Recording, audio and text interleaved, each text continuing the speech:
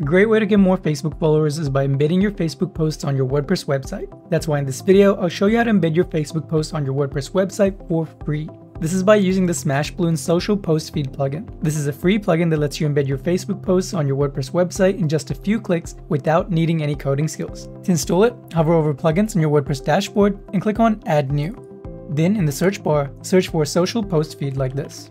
It's this one right here. You can click on Install Now and then activate the plugin.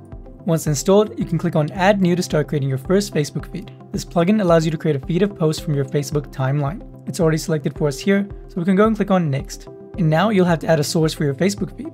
Click Add New, and then click on Connect to Facebook. Then go ahead and select the Facebook page you want to display, like this, and click on Next. And on this step, it's asking us for permission to connect Smash Balloon with our Facebook account. Don't worry, all it's doing is viewing the information it needs to display your feed, but it won't be allowed to make any changes or posts on your behalf. So you can go ahead and click Done, and click on OK. Then you can select your Facebook page as a source like this, and click Next. And just like that, we have our brand new beautiful Facebook feed right here in this live preview. All the latest posts from your Facebook page are displayed in this feed. Now that you have your Facebook feed, you can go and embed it onto your WordPress website. To embed it, just go and click on Embed on the top right corner, copy your shortcode like this, and click on Add to a page.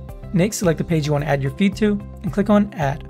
On your page, you have two different options to embed your Facebook feed. You can either use a shortcode block and paste that shortcode that we just copied like this, or you can use our dedicated custom Facebook feed block like this. And straight away, we have our brand new Facebook feed inside our web page. And once you publish it, it looks amazing on our live web page too.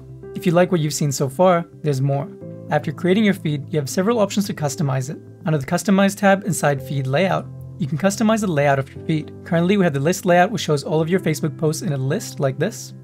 Next, we have the masonry layout, which shows all of your posts in their original sizes in rows and columns like this.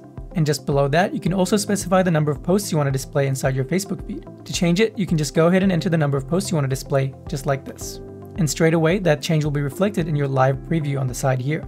Next, if you want to modify the colors on your Facebook feed to better match your brand or business, you can go into color scheme on the left hand side and you'll notice that currently it's inheriting all of the colors from your WordPress theme. This means that the plugin will create your feed to match your website's design automatically. Alternatively, you can go with the light theme like this, a dark theme, or even a custom theme where you can select the exact colors you want for your Facebook feed, like this.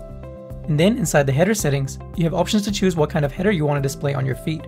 Currently, we have the visual header, which shows your Facebook page profile photo and cover photo at the top. Alternatively, you can go with the text header like this, or you can customize the text down here. Or if you want to disable your header entirely, you can go and disable it at the top here.